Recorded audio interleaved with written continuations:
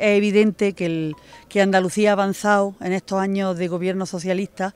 y Andalucía ha avanzado mucho en educación, en sanidad, en servicios públicos, en dependencia, en bienestar social, en, empleo. Entonces yo lo que pediría a los ciudadanos que para seguir avanzando, que quedan muchas cosas por hacer, eh,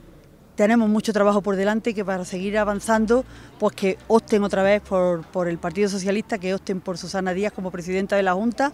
porque, como digo, tenemos que seguir avanzando en todas las políticas, sobre todo en las, en las políticas que van dirigidas a las personas, que son las políticas que nos representan.